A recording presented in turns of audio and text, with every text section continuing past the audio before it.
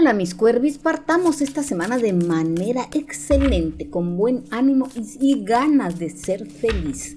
Les recuerdo, el día que llegue este mensaje a tus manos es para ti, no importa el signo ni la fecha de tu nacimiento, tómalo, es tuyo y continuamos. Hoy por hoy nuestra triada es reconfortante y con mucha espiritualidad, que es lo que ahora nos pide el universo. El 4 de varas nos marca celebraciones familiares, muy dirigido a tu parejita karmática, ¿eh? Por cierto, te cubren los signos de fuego, Ariel, Leo, Sagitario, y busca tu signo oculto. Ahí está el detalle. Pero prosigamos con el 4 de varas. La paz y la seguridad acompañan al 4 de basto usualmente en los más pequeños aspectos de tu vida. No dejes que su alcance limitado te haga subestimar la alegría que te traerán éxitos simples. Esta es una carta que habla de buenos términos y nuevos inicios. Su presencia en la triada es bienvenida. Si estás empezando una nueva relación o estás entrando en una nueva fase de tu relación actual, como el matrimonio o compromiso y especialmente buena para aquellos que se van a mudar del lugar de residencia. Y para tu futuro próximo te dice que al creer en ti mismo, en ti misma y aplicar energía positiva en tus decisiones, lograrás prosperidad. Las bases de tu futuro dependen de tus buenas acciones en el presente. Prosigamos con la carta del sumo sacerdote. Es el consejero que aporta espiritualidad a los actos que realizamos. Siempre muestra y comparte aquello que está bien y lo que no aportando valores morales a nuestra vida, así como la certeza y fe ante la desesperanza. ¿Qué signo representa el sumo sacerdote? A Tauro le corresponde la carta del sumo sacerdote que marca el camino del autoconocimiento y la organización desde el aspecto mental hasta emocional. Esta carta otorga energía de mucha creatividad y positivismo.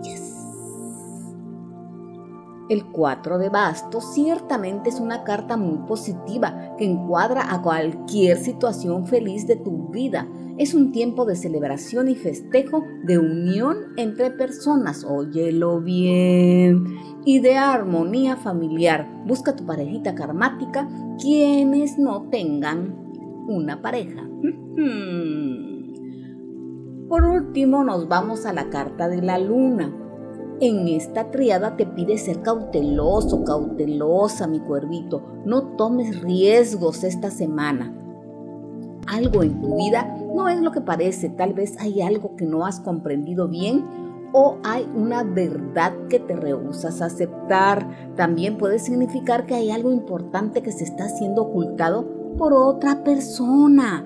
Esto puede eh, causar preocupación, depresión en tu vida y la luna es un fuerte indicador de que debes apoyarte en tu intuición para ver a través del subterfugio para tu futuro, te dice que tu imaginación te traerá éxito en tus pensamientos. Están unidos a la acción práctica, la lucha por el alcance de tu máximo potencial.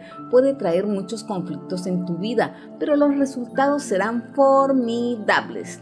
Si tienes una pregunta para el cielo, sé cauteloso, cautelosa, pues esta carta así lo requiere. Por lo tanto, estate en stop pues te advierte que seas precavido en cualquier emprendimiento que estés llevando esta semana.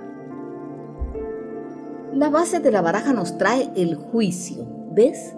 Tiene que ser muy juiciosa esta semana, mi cuervis. Representa la transformación, la renovación, el reinventarte, el cambio de paradigma, el despertar espiritual, la toma de conciencia, el resurgir de tus propias cenizas como el ave fénix, la madurez, comprensión y el resurgimiento a la vida, el entusiasmo y la claridad de ideas. Solo por esta semana, ¿eh? Mucho ojo. En el amorcito, mi cuervis, te digo, mi precioso, mi preciosa, amores equilibrados y estables, periodo bueno para el compromiso, necesidad de replantearse o sopesar la relación de forma seria, rigurosa y objetiva. papeles relacionados con la pareja. Ta, ta, ta,